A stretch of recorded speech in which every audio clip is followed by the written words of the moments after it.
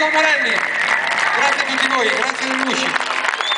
grazie a così pochi ragazzi, Angelo, che hanno portato